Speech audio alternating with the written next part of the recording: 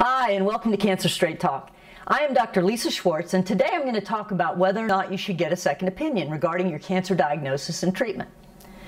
First of all, let's talk about what a second opinion is. A second opinion usually involves a consultation with another doctor who has expertise in cancer treatment. This usually means a practicing oncologist. And while your family physician, relatives, neighbors, all have varying levels of experience with cancer, consulting with them does not constitute a second opinion. You may, of course, value their opinions and suggestions, but that's not a second opinion.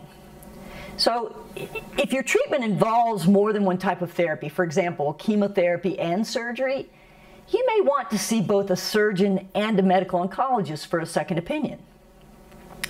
The doctor you choose for a second opinion may or may not be well known in his field, but you should probably look for a doctor who's not in the same group practice as your original oncologist. Keep in mind that a second opinion doesn't mean that you have to switch doctors. In fact, after a second opinion, many patients get treatment from their original doctor, especially if the second opinion is in agreement with the first. Cancer is complicated. Usually there are so many treatment options that it's almost always reasonable to get a second opinion. Now, that doesn't mean that you have to, but it's a reasonable thing to do if you want one. There are certain situations, though, in which a second opinion may be particularly valuable. If you have a rare or even just an uncommon cancer, get a second opinion if you can. In fact, you should ask your doctor to refer you to someone who has some experience with your rare cancer. This may mean travel for you. It may mean a visit to an academic teaching hospital. If you're not able to see the second opinion doctor in person, your doctor may be able to discuss your case with the expert by phone. Now, some academic centers will even open up their tumor boards to doctors in the community who have difficult cases.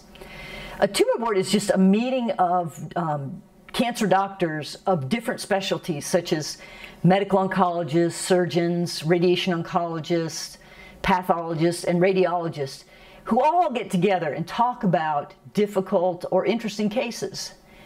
And usually, a recommendation about treatment results from this meeting. Next, if you're dealing with a childhood or pediatric cancer, you probably should get a second opinion at an academic medical center.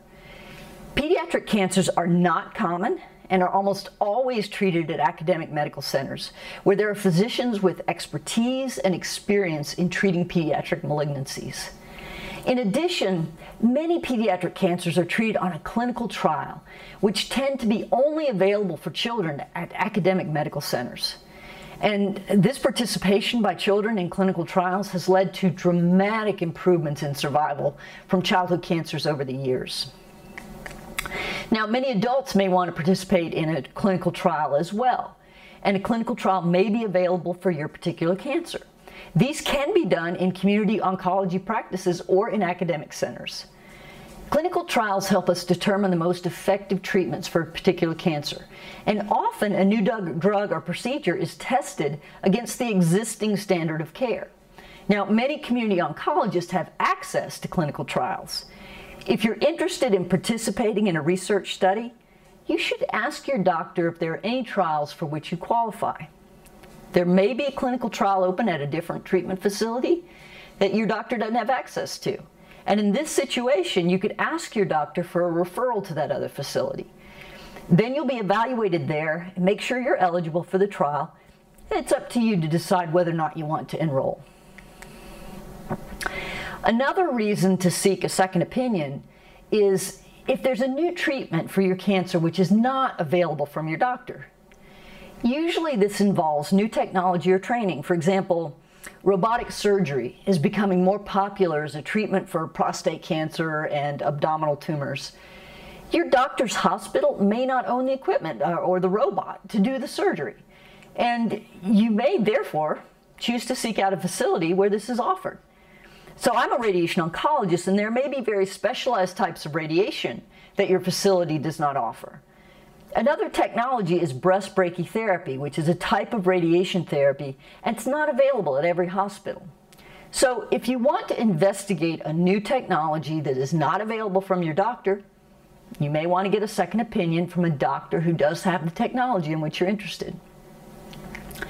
So lastly, if you ask your oncologist whether or not you need a second opinion, and he or she gets defensive, then you should probably get a second opinion. You know, unless you have a very routine cancer. An oncologist who is comfortable that he is recommending the standard of care should have no reason to discourage you from seeking a second opinion.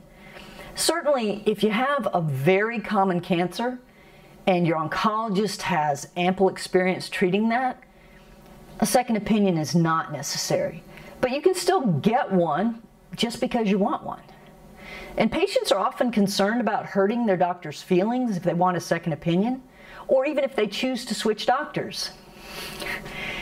You know, this is when your care and your best interest should truly be the top priority. The most important aspect of your treatment is that you have confidence in your treatment team. It's vital that your doctors communicate with one another and with you.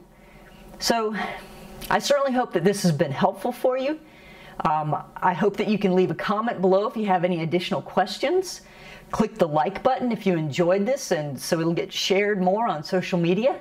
And if you're watching this anywhere other than my blog, please go to cancerstraighttalk.com and sign up for further posts and updates. Take care and be well.